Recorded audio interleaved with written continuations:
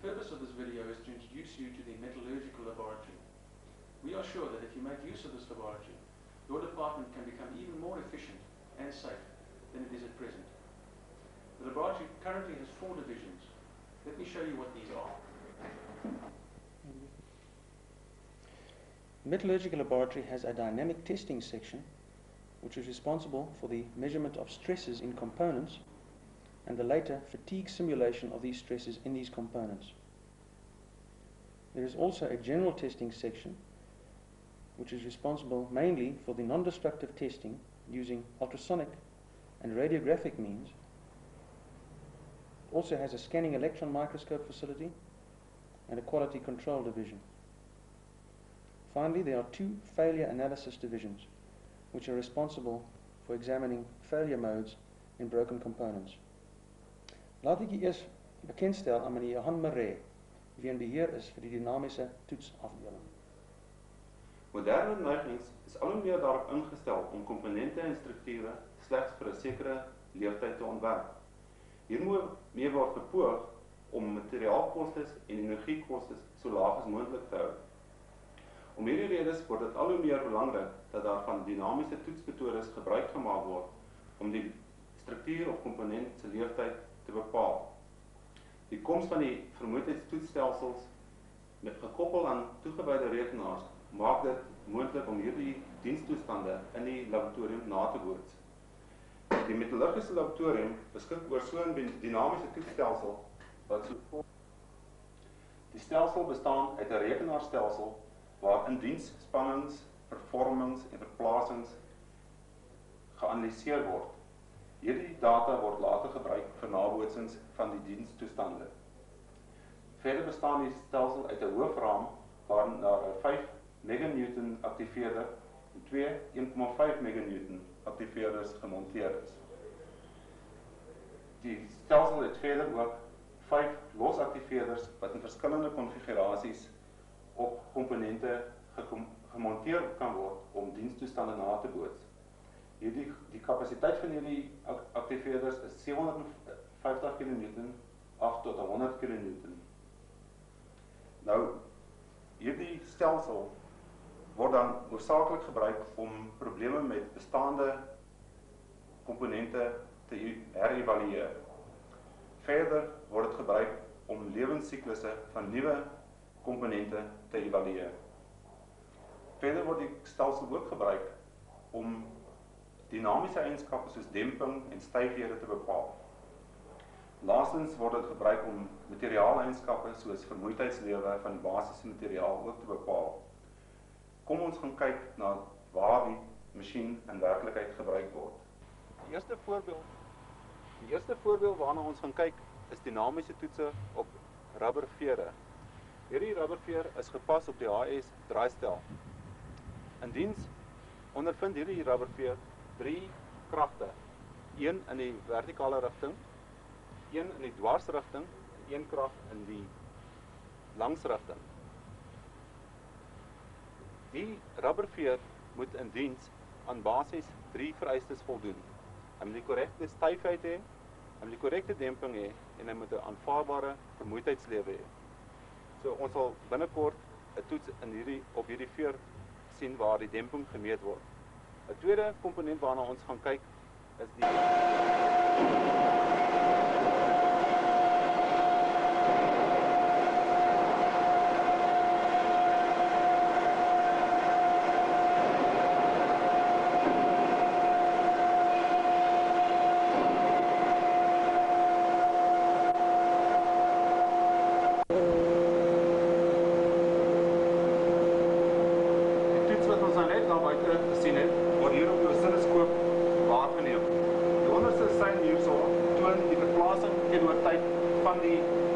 weer. Hoogste sein teenoor toon die krag teenoor tyd van die rubberveer.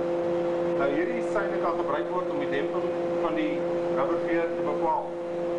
Terwyl ons hier is, wil ek net daarop wys dat ons ook hierdie data op data vertooneenhede kan vertoon. Hierdie data vertooneenhede wys op die oomblik die die verplasings waar tussen die rubberveer geplaas word. Ons kan nou na die rekenaar gaan waar ons analiseer wat presies die demping van hierdie veer is.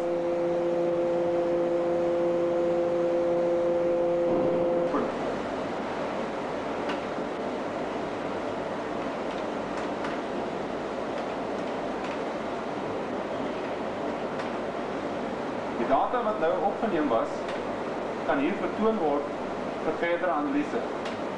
Wat ons nou hier sal sien,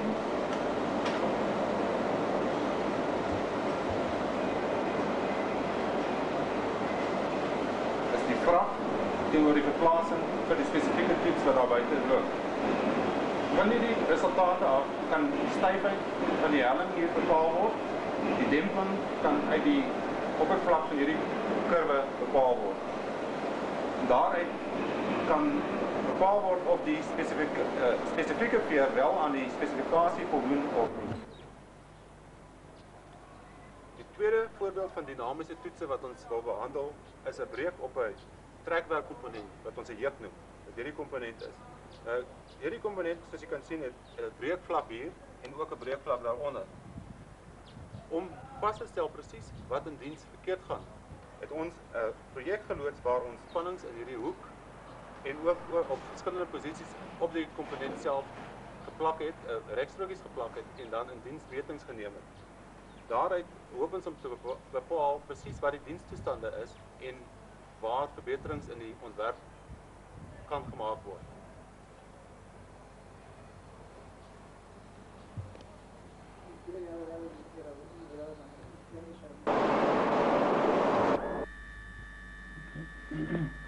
Ons kyk nou of Johan Maree se uh, stem gered kan word in uh, vak 5. Daar's 'n juk en Hubert wys vir ons punte waar die strain gauges aangeplak was en dan gaan hulle ander goed wys. Ons is op 9332. met die spanningsversterker en die FM bandopnemer gebruik vir diensopnames. Ons onthou dat die rekenaar van ons tipiese opname van hierdie soort sal beskou.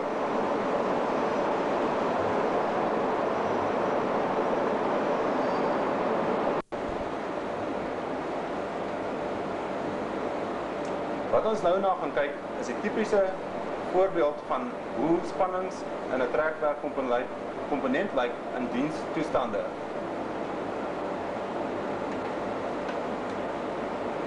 Op hierdie grafiek kan ons die vrag teenoor tyd sien in so 'n komponent.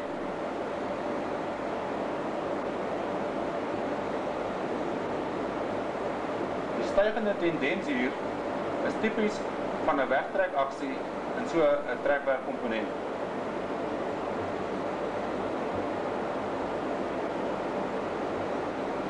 Ons sal nou gaan kyk na hoe lyk dit as so 'n krag uitgeoefen word op 'n komponent in die toetsraam.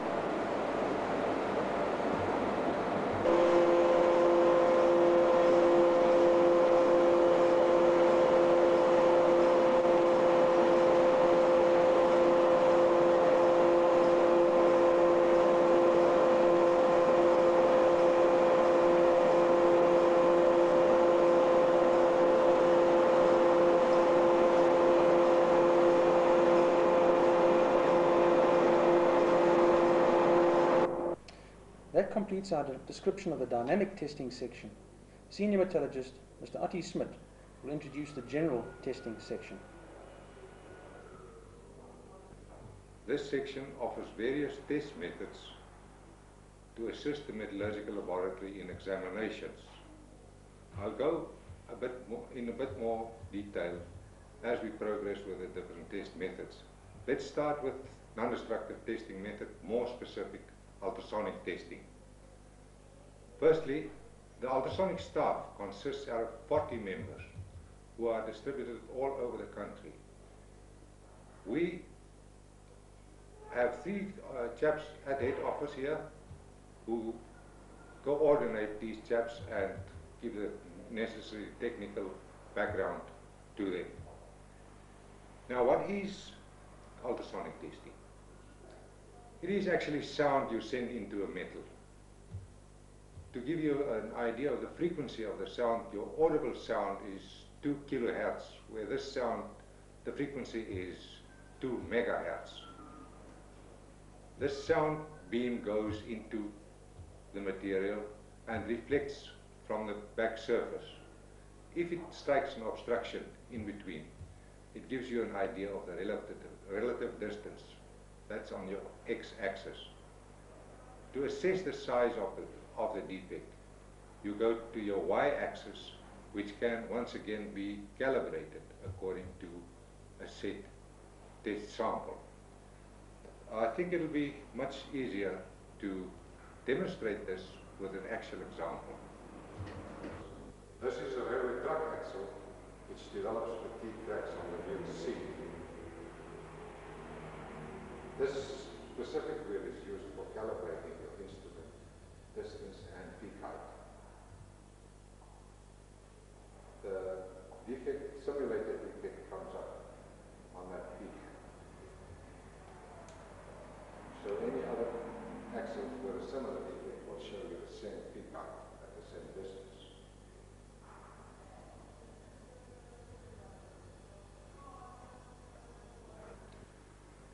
We have just seen how Mr. Bowles has detected a simulated defect in the wheel seat of the axle by using a probe from the end of the axle. The defect in question was a 1 millimeter deep saw cut in the axle seat. And he will now detect the same defect by using a 37 degree probe from the axle center.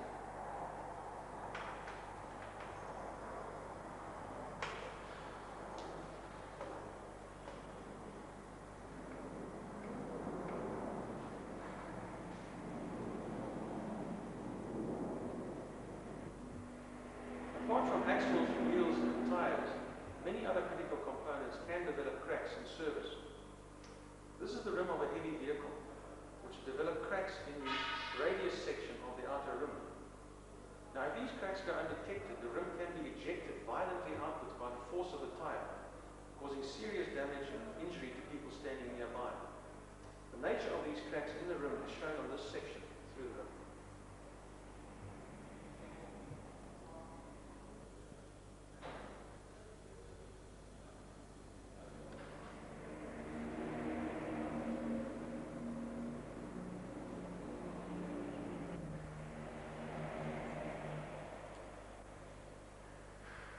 Other important uses of ultrasonics include the thickness measurements on castings or the remaining thickness of corroded plates.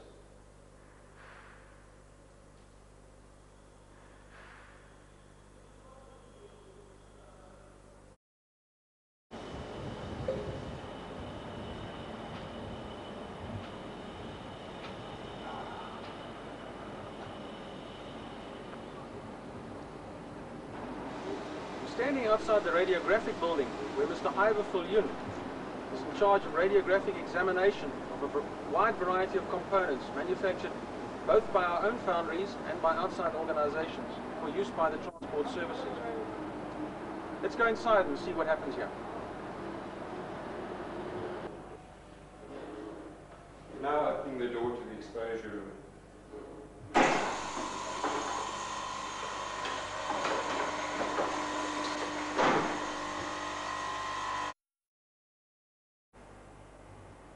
We're now in the exposure room. This is a specially designed room. It has meter thick barium lined concrete walls and steel lead lined sliding doors.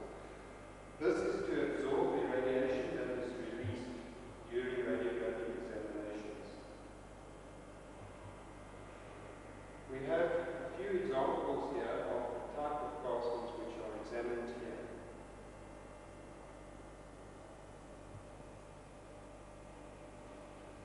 Now have a look at a few radiographs. Here we have a section of a knuckle. As you can see, it has a perfect surface on it. However, in the center, we have a huge shrinkage cavity. This is why radiographic examination is so important. Over here, we have a radiographic form of the jaws of a yoke. The film is placed on one side of the jaw and the X-ray machine on the other side. where there is no material between the X-ray machine and the film. One gets a pitch black image on the film. The thicker the steel of the yoke, the lighter the image on the film. We look at this here, we see there are virtually no defects at all. However, when we come to this one, we see there's an extremely dark spot on the film here and a darker area which extends around the cotter hole in the yoke. I have here this particular yoke which has been sectioned.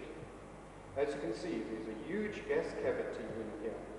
Again, there being less material, more radiation got through, giving us a darker image on the film. As you can see, this defect extends around into this portion of the yoke. Let us now have a look at how this was done. Over here we have yoke with film placed on one side of the jaw. Here we have the X-ray machine. So all the radiation penetrate through the yoke and give us an image as on the form as indicated over there.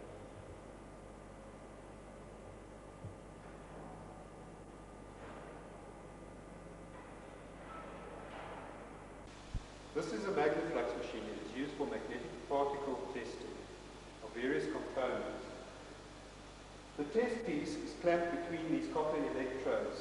The electrical current is then passed through the test which in turn creates a magnetic field at right angles to the test piece. While this current is being passed through the test piece, a fluorescent magnetic powder in suspension in paraffin is sprayed onto the test piece. Any surface discontinuities on the test piece will result in small north and south poles being created. The magnetic fluorescent powder will then adhere to these north and south poles, which are then detected in turn with the ultraviolet light. These cracks were caused by an improper quenching operation. The third section of the general testing division is the scanning electron microscope. Let's go inside and see what Mr. James Root is doing.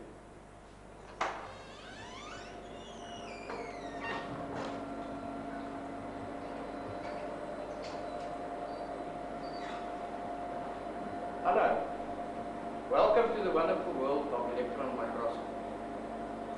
I hope that this brief introduction will give you a glimpse into the enormous wide field to which electron microscopy is applied today.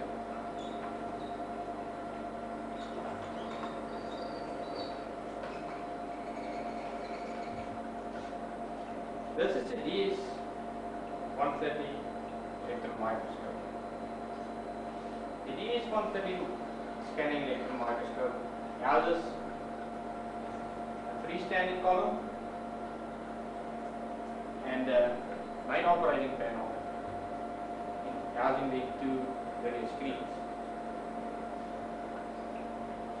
Main freestanding column has five lenses and two stages, the top stage and the bottom stage. The top stage is used for small samples up to 8 millimeter, millimeter in diameter, whereas the bottom stage can accommodate large specimens up to 150 millimeter in diameter. At the top of the column is the electron gun with a tungsten filament. The column is evacuated and samples in bottom. The interaction of the electron beam with the sample produces a large amount of signals. And by using various types of detectors, which are situated circumferential around the specimen, bottom stage and the top stage, these signals are converted to electronic signals which are portrayed on the cathode ray tubes or various screens. The scanning electron microscope is capable of magnifications up to 300,000 times. In other words, a 1 millimeter bar is enlarged up to 300 meters or 1 micron bar up to 3 meters. The microscope is also equipped with a Polaroid camera whereby enabling us to photograph any of the screens through selection from the main panel. Furthermore, are the scanning electron microscope also equipped with the link energy dispersive X-ray system or EDX analysis system. Any particle or area which can be viewed on the screen can be analyzed. The smallest particle that can be analyzed are two thousandths of a micron. If a particle or area has been analyzed, typical spectrum is obtained. From the spectrum, the elements are identified and the chemical composition uh, calculated via the computer. A plot of the spectrum can also obtain Typical applications for which the scanning electron microscope is used include, for example, microscopical examination of the heat condition of the steel or weldments, for example.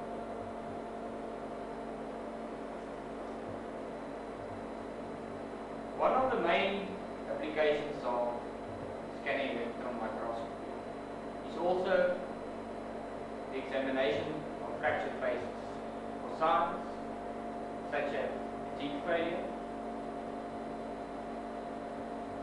hydrogen embrittlement, or porosity in steel. Other applications include determination of quality and thickness of surface coatings. Or material identification as particles and or oil debris analysis, as well as determination of the type of wear that occurred, such as razor wear or sliding wear.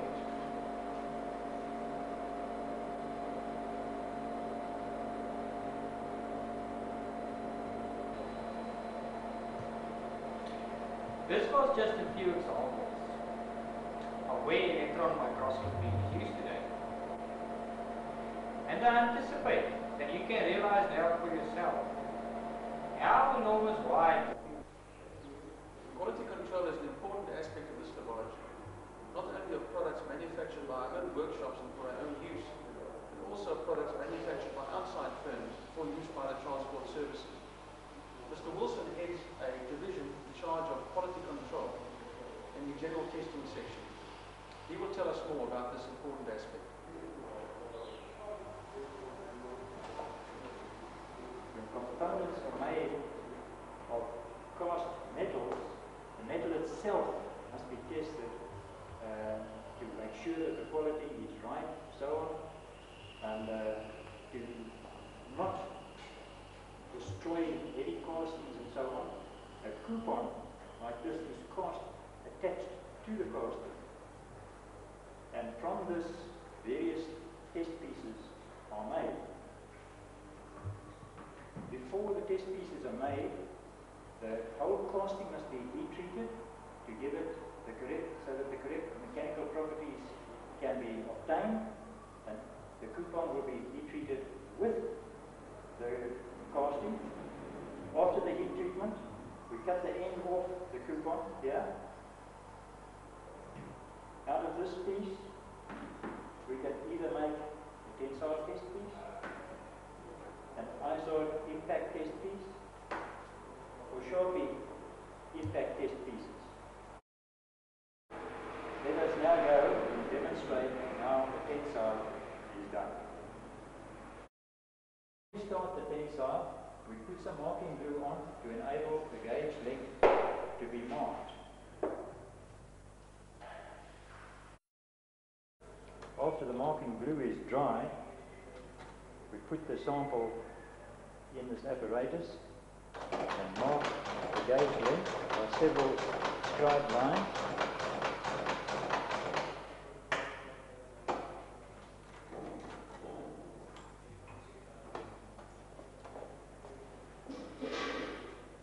Missile test specimen is then put into the machine, ready for tension testing.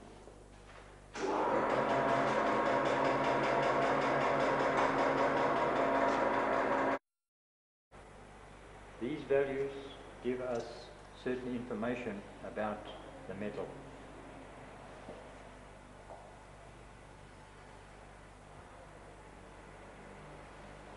Specimen, which looks like this, is then placed in the machine and tested.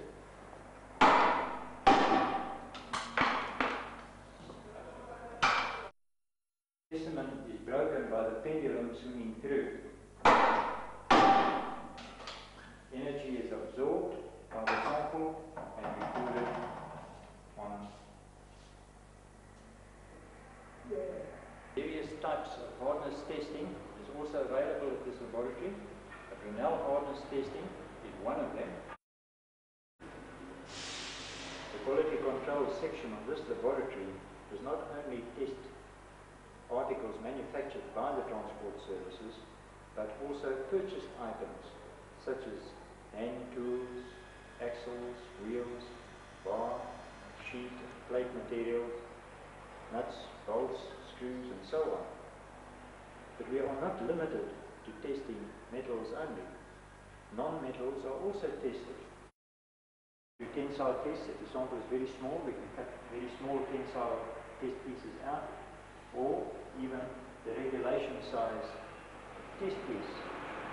Uh, we mark the gauge length on it over here with our little instrumentation.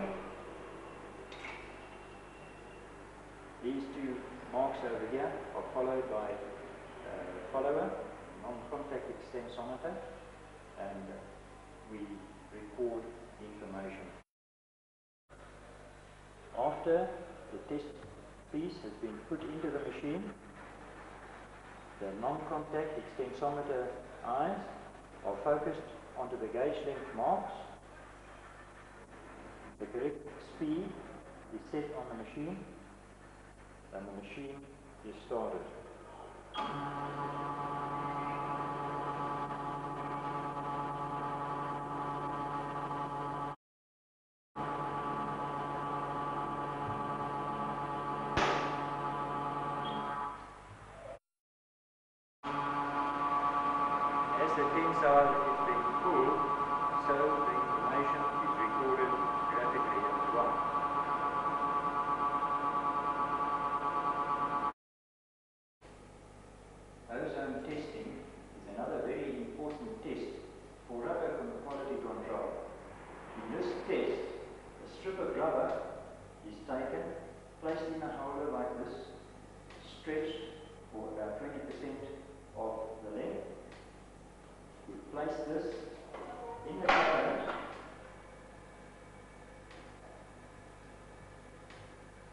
On this carrier which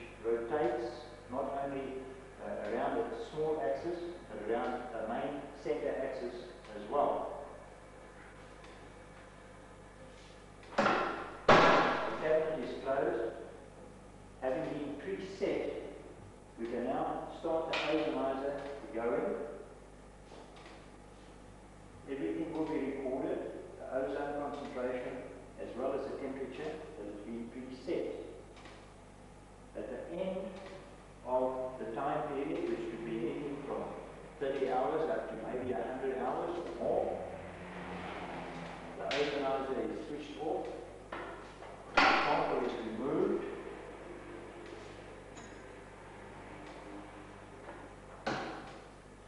And then we can check to see what the result is.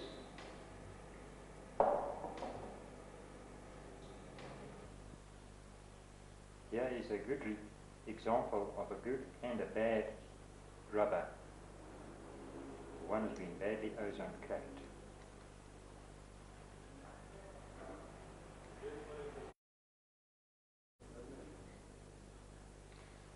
Perhaps the most important aspect of the laboratory is the examination of structural failures. To help us here, we have two divisions. The one is concerned mainly with components from the mechanical department, while the other section uh, examines components from the rest of the transport services. This would include the civil department, electrical, road motor transport, and even airways. Perhaps the best way to illustrate the functions of these structural failure sections is to illustrate by using a case study. Selfs die beste ontwerper kan weens praktiese redes probleme in diens begin ontwikkel. Meneer Johan Smit, die beheer is van een van die breekanalise afdelings, sal vir ons meer in hierdie verband kan inlig. Hierdie is 'n merk 5 pastogram wat in die CCA 5 steenkooltrok op die Ermelo Richard Bay steenkoolrent gebruik word. Die trok as laer en laer pastak funksioneer in hierdie posisies. Sorting van hierdie komponente in diens het in die drie posisies vas plaasgevind soos wat hier aangedui word. Daar was aanvanklik vermoed dat hierdie breuk as gevolg van materiaalprobleme ontstaan het. En die laboratorium was toegenader om verder ondersoek in hierdie verband te doen.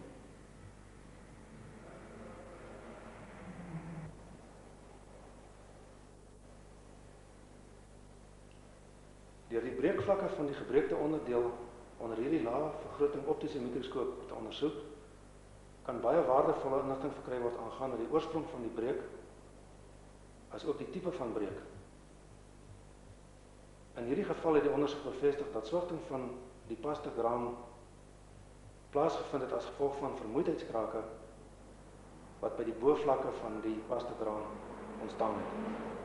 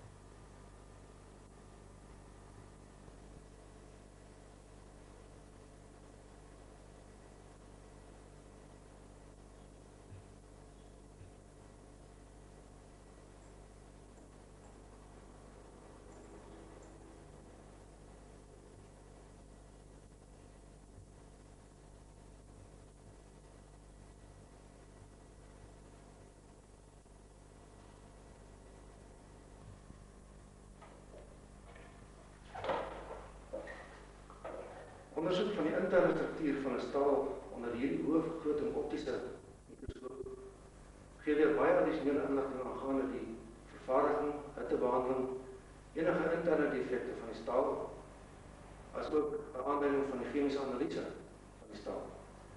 In die geval van die pastogram was bevestig dat daar geen metallurgiese faktore teenwoordig was wat tot die ontstaan van die vermoeidheidskrake en finale slukking kon bygedra het.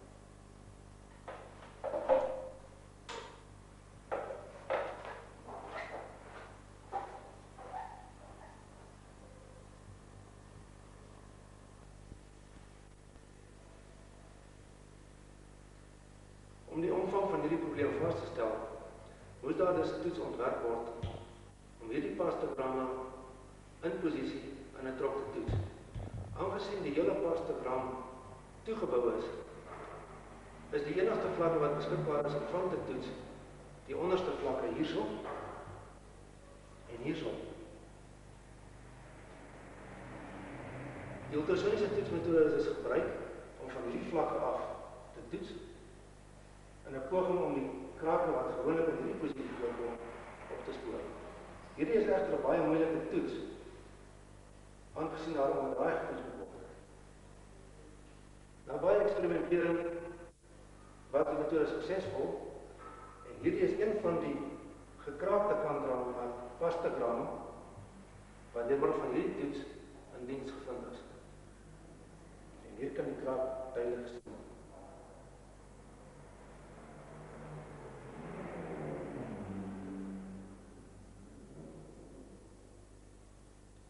Die pastogramme het geswig as gevolg van 'n hoë lokale spanningspatroon wat in die pastogramme ontstaan. Ten einde hierdie spanningspatroon verder te ondersoek, was addisionele toetsing ter dinamiese toetsseksie gedoen. En hieroor sal meneer Hubert Dixon ons verder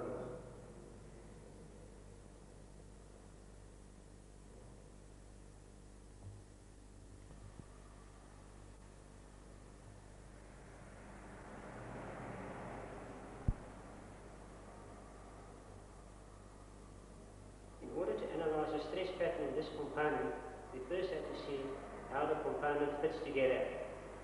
As we can see here, this bearing adapter fits into the adapter frame and bears on these areas over here. Further analysis of the stress pattern was done by means of photoelastic material which was applied to the other side of this adapter frame.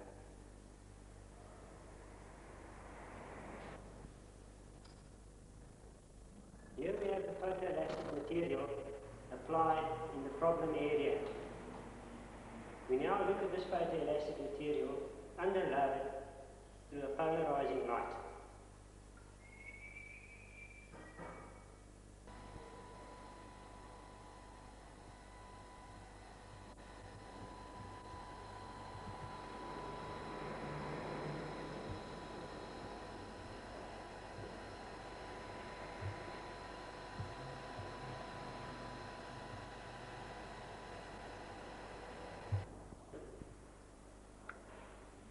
From the photoelastic analysis of this area under load, we decided to place strain gauges at a Z here, 2 mm and 5 mm gauges in these positions.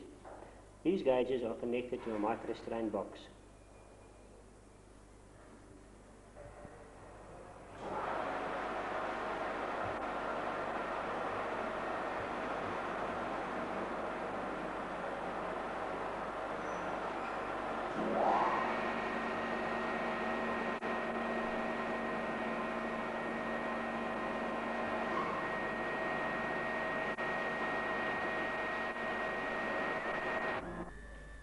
Testing the new microphone and uh, to see whether it still make wah wah wah.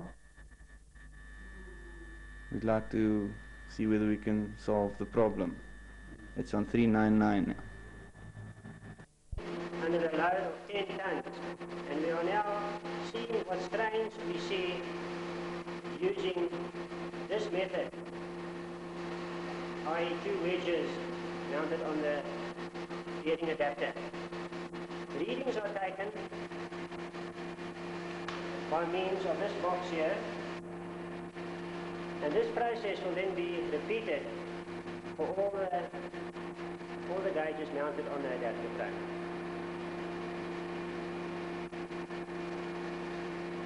We can see this adapter frame without modifications showed very high, very high strains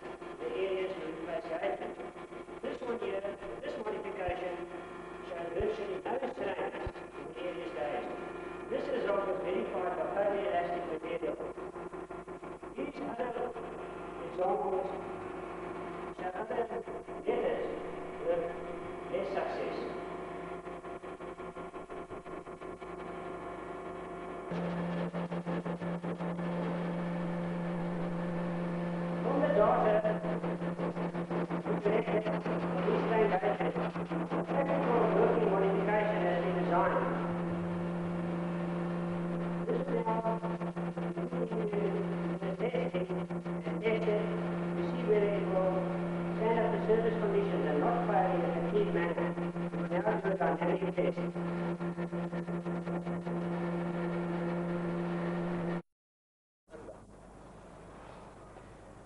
kyk hier na twee F-tipe koppelaars wat gebruik word op ons ertslyn tussen Sishen en Saldanha, as ook op ons steenkoollyn tussen Ermelo en Richards Bay. Die probleem wat hier ontstaan het, was in die agterste pengat van hierdie tipe koppelaar. Vermoeidheidskrake het in hierdie areas in die hoeke as ook reg agter ontstaan. As gevolg van die feit dat hierdie seksie baie dun gegiet was met 'n los pendraadblok wat hier ingepas het. Die ontwerp is daarna verander na hierdie tipe koppelaar met 'n soliede seksie agter en die vermoeidheidskrake het toe nie weer ontstaan nie. Die probleem was steeds dat ons met 'n groot aantal van hierdie koppelaars gesit het posisies agter.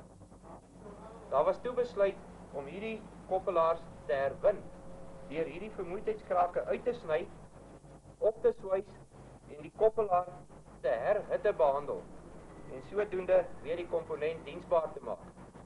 Ons kan nou gaan kyk hoe hierdie herstelproses van ons verloop het. Ons gaan nou kyk na hoe die krake deur middel van 'n elektriese ligboogproses uitgesmelt was. Die proses behels die smelt van die oppervlakmateriaal deur middel van 'n elektriese boog. Die gesmelte materiaal word dan deur 'n ligstroom weggeblaas. Die fynste krake kan deur middel van hierdie proses verwyder word.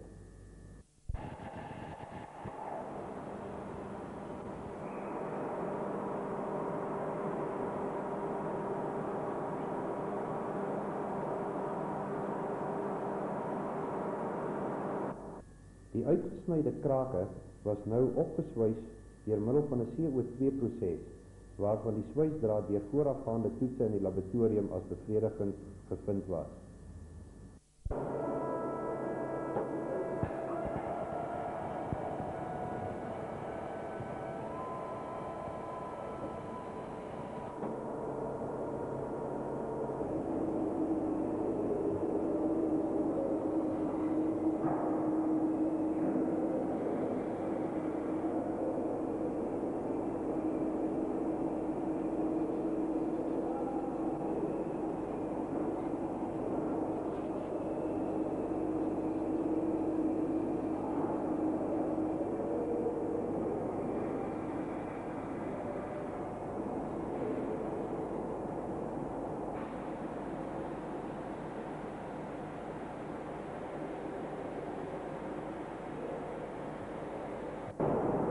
Ons sopas gekyk na hoe vlamverharding aan die binnekant van die penvat van 'n F-tipe koppelaar gedoen kan word. Die apparaat hier was deur die laboratorium ontwikkel en gebou. Hier het ons die twee ende van F-tipe koppelaars wat afgesny was en aan mekaar geswys was om 'n trekstang te vorm. Die vermoeidheidskrake aan beide ende was uitgesny en herstel kwyt. Op hierdie kant was geen hittebehandeling gedoen nie en op hierdie kant was die binnekant van die penvat vlam verhard om dus beter slytasie en vermoeidheidseienskappe daaraan te gee. Soortgelyke stawe is gemaak Party was nog nooit in diens nie en het dus geen vermoeidheidskrake nog gevorm nie. Ander was die her, was die vermoeidheidskrake herstel en 'n volledige afblus en temperatuurbehandeling aan die staaf gegee. Hierdie stawe gaan nou na ons dinamiese toetsafdeling wat vir ons vergelykende toetse gaan doen om sodoende die beste eindresultaat te kan bepaal. Ons hoop om ons eindresultaat ook baie binnekort in diens te sien.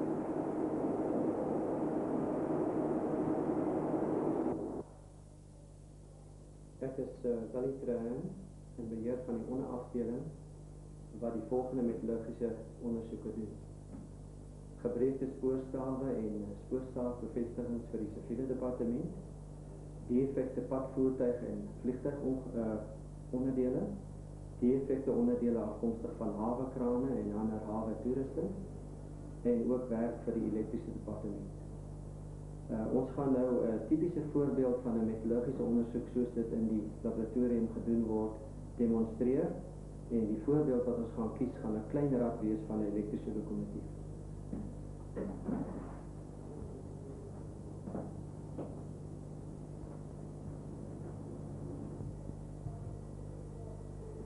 Hier het ons nou die voorbeeld uh, van die gebreekte rad wat ek genoem het.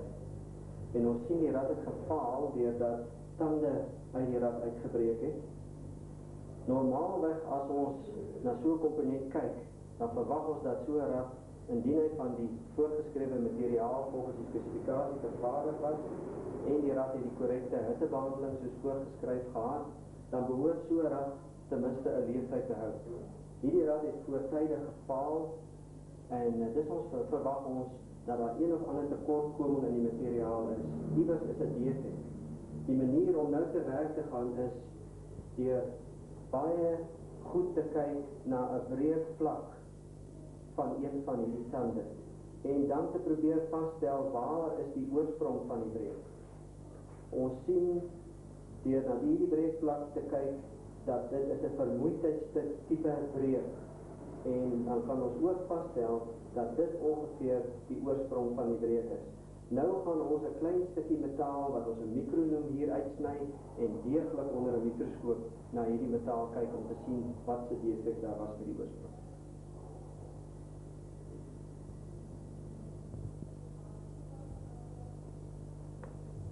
Die ondersoek onder die mikroskoop het getoon dat daar 'n klein afbluskrakie by die oorsprong van die vermoeidheidskraak in die tand teenwoordig was. Verdere ondersoek van die hele breedvlak van die tand onder 'n lae vergrotingsmikroskoop het dan ook getoon dat daar verskeie afbluskrakies in die wortel van die tand teenwoordig was waarvandaan vermoeidheidskrake verder voortgeplant het. Om nou die omvang van hierdie afbluskrakies wat gedurende die uh, vervaardigingsproses ontstaan het te bepaal, het ons 'n magnetiese kraakopsporingsmetode toegepas.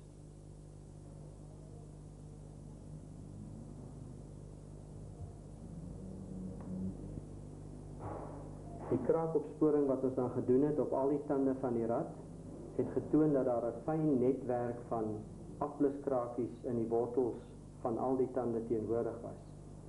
Dit toon dat 'n te drastiese afblusproses gedurende die hittebehandeling van die rad toegepas was en dit was die oorsaak van hierdie fyn netwerk netwerk van krakies.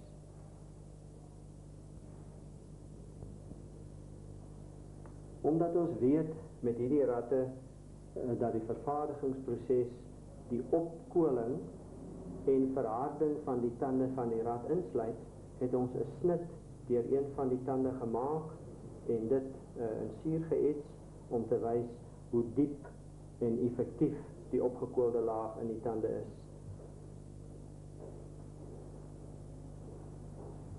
Ons uh, weet gedurende die vervaardigingsproses van hierdie tande uh moet die oppervlakke baie hard gemaak word om slytasie weerstand te gee in diens, maar terselfdertyd moet ons 'n baie smeerbare kern behou om die skokke wat die rad ondergaan in diens te kan weerstaan. En ons sien dus nou dat indien 'n te drastiese opkolings en afblusproses toegepas word, sal dit veroorsaak dat daar 'n netwerk van klein afbluskrake in die tande ontstaan wat dan uiteindelik sal veroorsaak dat die voortydig val.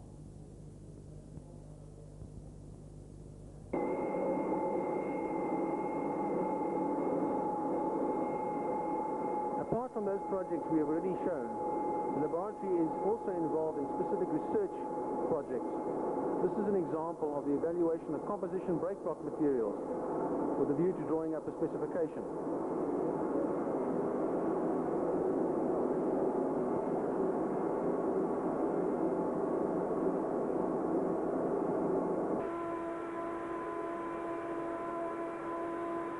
In this experiment, various wheel materials are being evaluated with regard to their resistance to thermal cracking.